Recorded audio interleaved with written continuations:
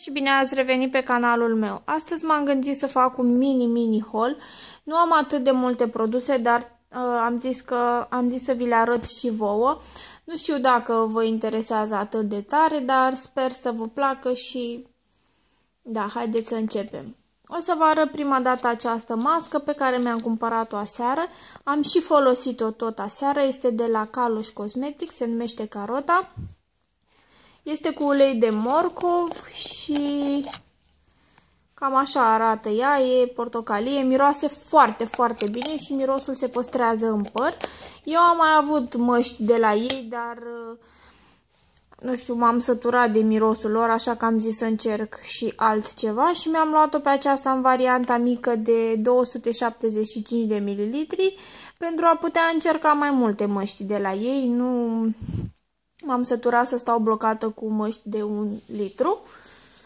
Apoi mai am încă un produs și este acest parfum. Se numește Avon Pure, cred că l-ați mai văzut la mine, nu știu sigur, dar uh, eu am filmat un clip cu parfumurile Avon și nu știu care din aceste două clipuri va apărea primul. Uh, are 50 de mililitri, este o apă de toaletă și miroase Uh, destul de bine și persistă cam 3-4 ore pe pielea mea și îmi place foarte mult. A fost doar 18 lei în acea revistă My Avon Magazine. Apoi am și acest concealer de la Avon din gama Ideal Flawless. Este Matte Liquid Concealer și este în nuanța fer siguranță nu o să se vadă din cauza blițului. Dar deocamdată pe acesta nu l-am încercat și nu pot să-mi dau cu părerea, nu știu ce să vă spun despre el. Dacă voi știți ceva despre acest produs, vă rog să-mi lăsați și mie în bara cu comentarii ca să îmi fac o idee. Sper să fie bun, sper să fie atât de mat pe cât scrie pe ambalaj și...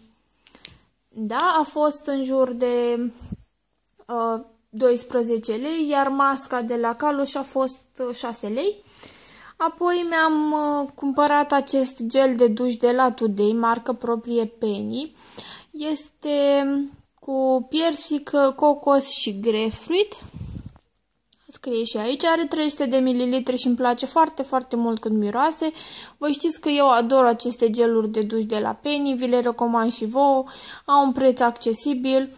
Uh, prețul lor este până în 5 lei, dar uh, prețul diferă în funcție de aromele pe care le alegeți, ceea ce mi se pare foarte dubios.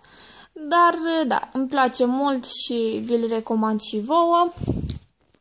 Încă un gel de duș este tot de la Today, este acesta cu uh, lapte și cocos. Miroase extraordinar de delicios, pur și simplu îmi vine să-l mănânc, nu să mă spăl cu el. Este un shower cream, acela era shower gel. Este destul de cremos și oferă și o oarecare hidratare corpului. Evident că folosesc și o loțiune după, dar și acesta are o hidratare destul de bună.